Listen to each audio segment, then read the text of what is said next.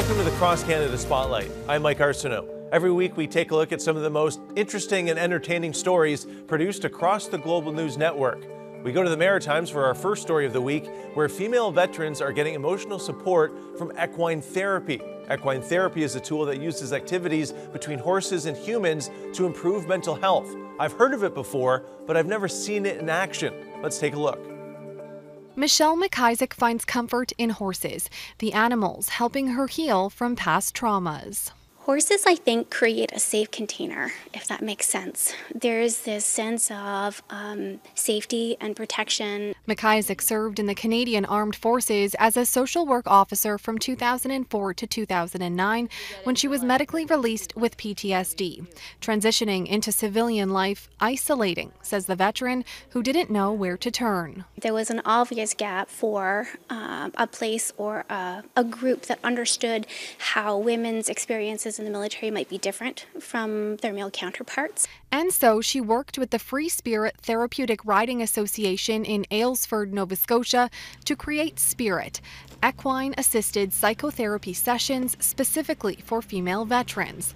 Lead the horse around the ring. Elisa Q, a certified equine specialist, led the sessions last year to a group of 16 women. They were taking charge and leading the horses around and tackling the obstacles head on. Um, it was just impressive to see the amount of growth in such a short period of time. The horses helping women cope and improving their quality of life. We really therapeutically ended up seeing a reduction in symptoms that they had presented with. So, um, lots of reduced anxiety, some better sleep. Um, and then, what was really exciting too is some sustained relationships that came out of that. The first session proved so successful that Veterans Affairs Canada granted the Free Spirit Therapeutic Riding Association $90,000 to offer an 18 month program which starts mid May for up to 64 female veterans. I think it's a huge success to get this kind of recognition in a rural area and, you know, working with an all women's group. For McIsaac, the funding served as validation, saying she's excited to see where Spirit goes. The last couple of years have been a real strain on lots of us and our well being. Um, the, the way through that and on the other side is through the people around us. Hoping horses and community help heal others who are struggling. Ashley Field, Global News, Aylesford, Nova Scotia.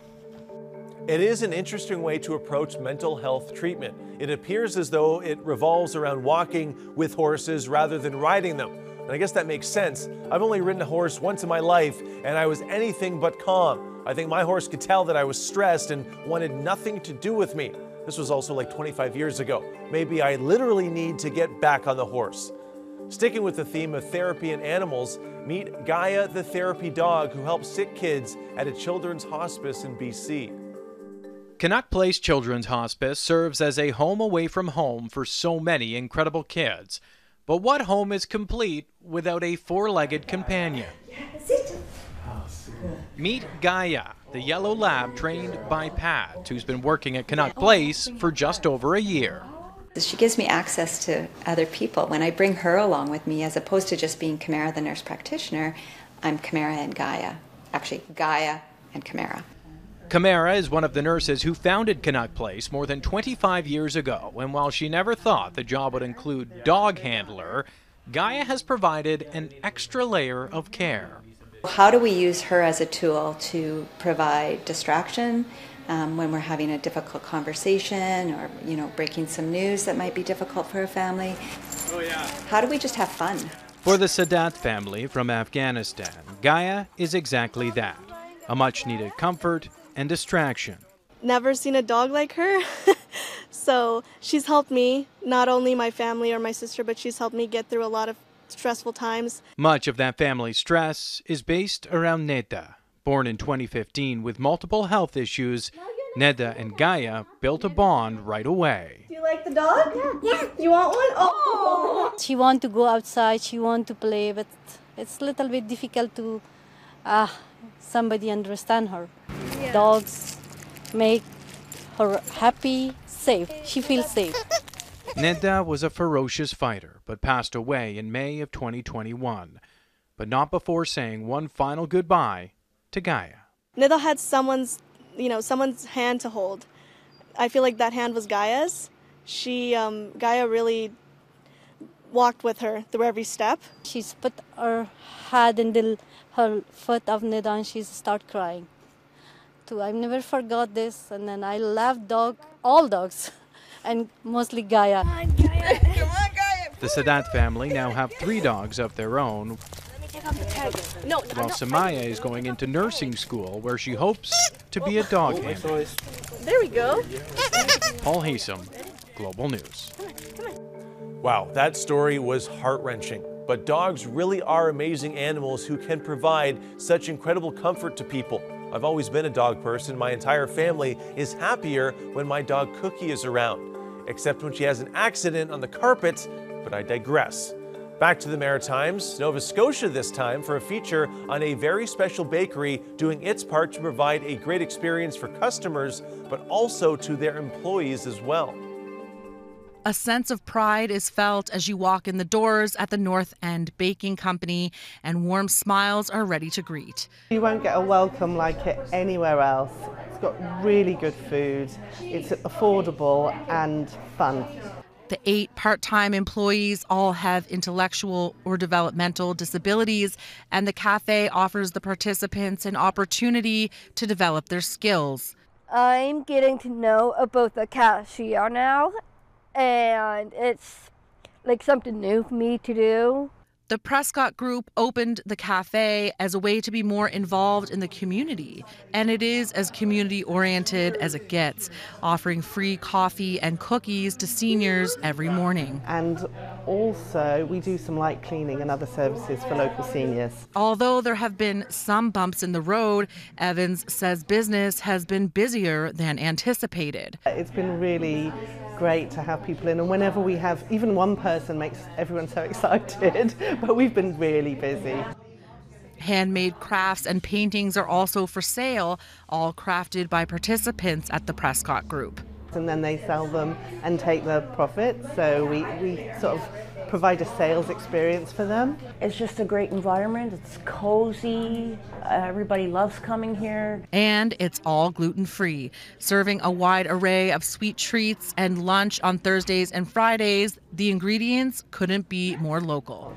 We have a community garden across the road, so we grow things through the year and then we use lots of those in our lunches and things, our salads and um, so very local.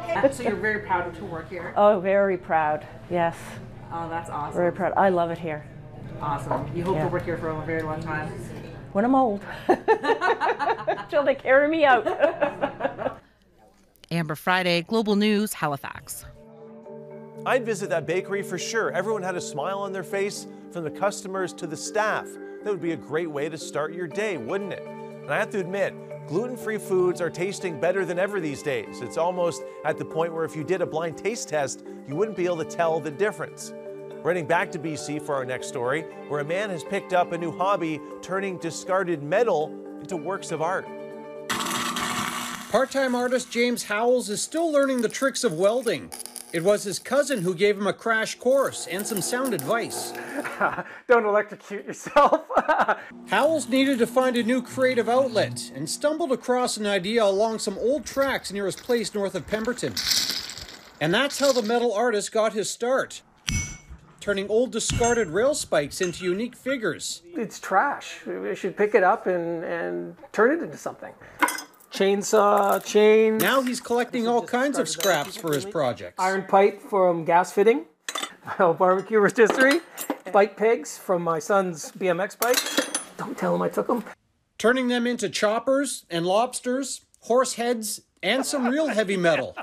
Oh, wait till you see my Gibson inside. The Gibson's better. This is art that's good for the environment. This is heavy metal, and it just goes, it just gets, it's absorbed into the ground. An old clothesline, uh, thing. You can see there's sockets, there's gas fittings, there's nuts. This is uh, a rotor from a, a lawnmower. I recycle propane tanks. I made a really cool 1964 Volkswagen bus out of a 30 pound propane tank. It's at the point now where neighbors are leaving piles on his porch for him to work with. People clean out their shed. Oh, James would like this handful of nuts and bolts. This is a piece off of a router Um, you can see his chain, the bicycle chain. That's his holster. Yeah. If it ever, their house ever burns down, my art will still be there.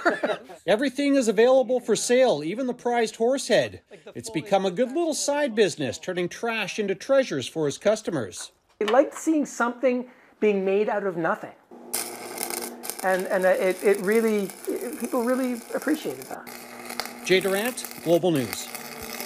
It's amazing what welding skill and an artistic mind can do. I don't have either, so I really can't fathom how James is able to see those designs within what is essentially trash. Okay, last up this week is a bit of a weird one. It's about Sasquatch and Bigfoot, and you may need an open mind for this, or you may not have what it takes to join the Sasquatch Society at Trent University. These Trent University students are on a mission but they're not here looking for your typical wildlife, rather, something or someone more specific. Uh, we're looking for Bigfoot. Ryan Willis is the founder of the Trent University Sasquatch Society, which is now about 150 members strong. This goes back hundreds and hundreds of years, and, and there's so much evidence and so much eyewitness and a lot of academics behind it. Evidence like that classic footage from the 60s. You know the one, the Patterson Gimlin film that made Bigfoot famous. Now, this team is looking to find out more. We want to find it, obviously, and uh, do all the work and research we can. So they're speaking with the experts, like Dr. Jeff Meldrum, professor of physical anthropology at Idaho State University. He was called to examine possible Sasquatch tracks in Washington back in 1996. These were either hoaxed, cleverly hoaxed, or they were the real deal. 35, 45 clear footprints in the mud. It was such an impactful experience. The hair still stands up on my arms because, you know, that realization set in that, my gosh, they do exist. Now, despite those footprints and some 300 other sets Meldrum has examined since, there is still no concrete proof Sasquatch are real. Back on our expedition, no sightings for us yet, but it's time to, well, give Bigfoot a call. And if that doesn't work, club member Joel Porter has another idea. So I'm going to do a wood knock. Um, basically, a lot of researchers think it's a, it's a way that they use to communicate. And while the team admits finding Bigfoot here in southern Ontario is unlikely, with most substantiated North American accounts coming from the remote West Coast, Porter and Society member Sabrina Marie say they're having fun trying. Hearing a broad range of different viewpoints from different experts has been a really cool experience. Willis says they're hoping to expand the Sasquatch Society by opening up their database to other universities and to the public. Until then, our bigfooting continues. Hey, you never know. Kaylee Bedore, Global News, Peterborough. Okay, I'm on the non believer side here because there's been no video like that one we saw in the package from the 1960s. We haven't seen it here in the 2020s, and this is a time when everyone has an HD camera with them at all times. I think that's all the proof you need right there that Bigfoot isn't real. We'd have video of him by now, don't you think?